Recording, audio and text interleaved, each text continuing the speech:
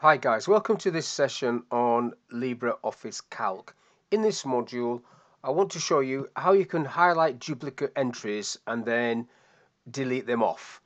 So what I want to do first of all is use conditional formatting to highlight a duplicate entry. So this data here, I've purposely added two records the same at the bottom there, but I'm going to highlight the table, then go into condition and set a condition and just delete that one. So basically, if I click on add, cell value is equal to, don't want that one, is duplicate, and then the, I want it to be bad, so that'll go red. So it'll highlight it red if it's duplicate. So, so that should pick up these two. I click OK to that.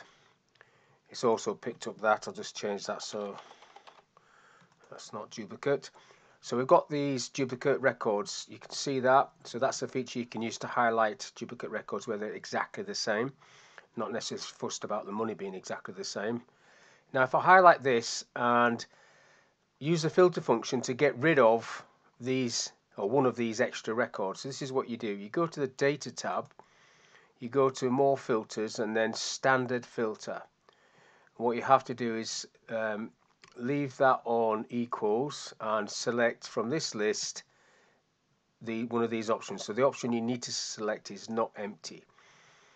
And then options down the left hand side you need to tick no duplicates. So tick no duplicates. And then I've got this set up so it goes to a specific place, but I'll just do that again. I'll click on this little box and then select where I want this to go.